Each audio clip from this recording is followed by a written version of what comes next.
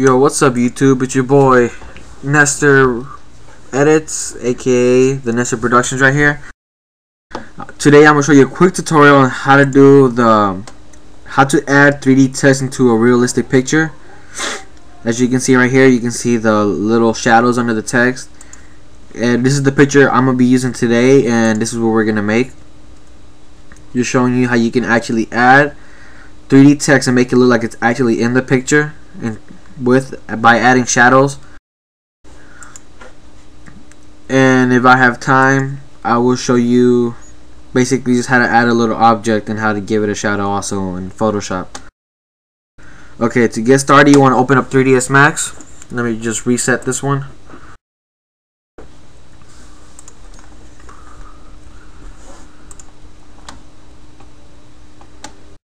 Okay, you want to start off by getting the picture that you need or you're to want, which I have located right here, and just drag it into the perspective viewport.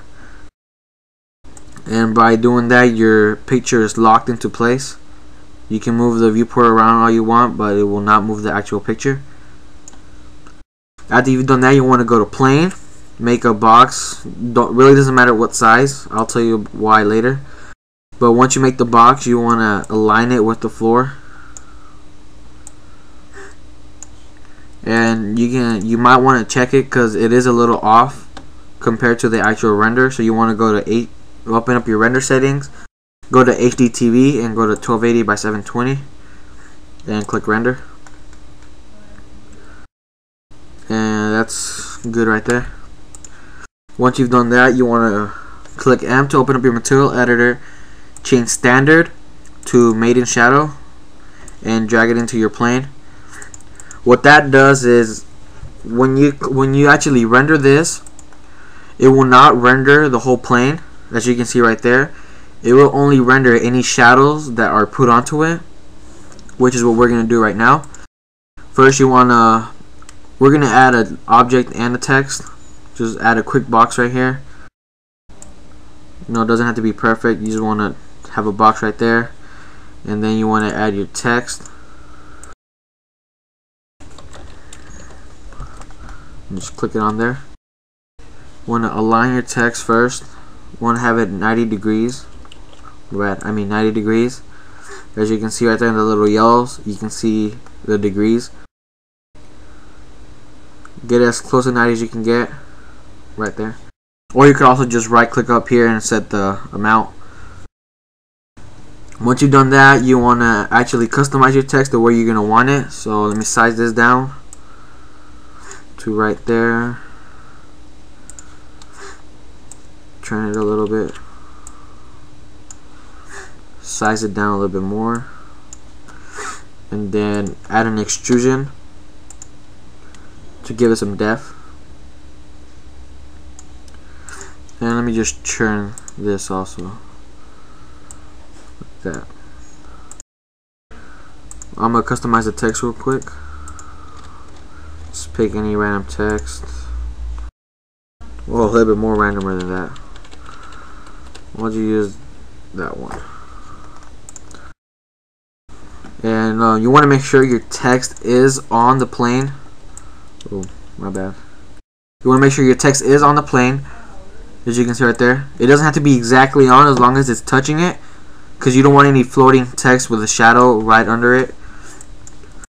Once you've done that, you want to make sure you have the text exactly where you're going to want it to be standing. So hit render.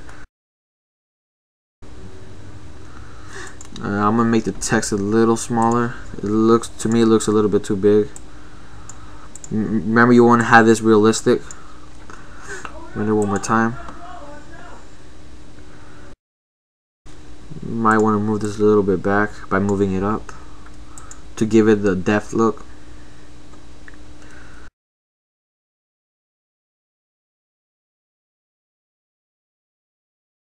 that should be good right there. Once you've done that the next step is easy. You just want to go to your lights change from photometric to standard and add a skylight. What skylight does is all it does is add shadows and a little lighting to the objects only.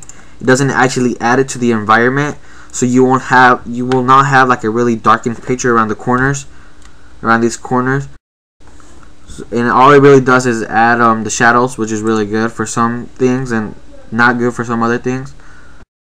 You want to go make sure you have your render set up the way you want it and just hit render. And you can see right there it, you can see the actual 3D text is into 1D and to fix that you just want to go to your skylight and check on cast shadows and you can render it. And as you can see right there you have the shadows on the floor. And it actually looks like the text and object is in the picture. Like this would all could be a little bit better just by making a little bit more smart choices with the color you have and material you use on the text and object.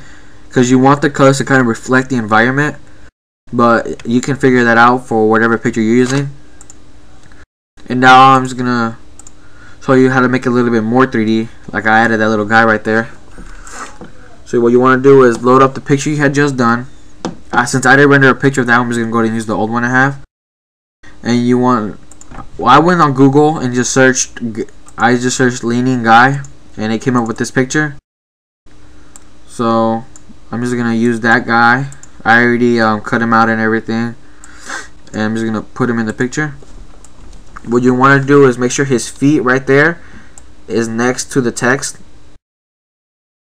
And you want to hit control T hold shift and size him down and just move him until he actually looks like he's leaning against it like right there. Once you've done that you want to create a new layer. And you want to move the layer between the first one and the background. So you can have layer 2 right there and then you want to zoom in.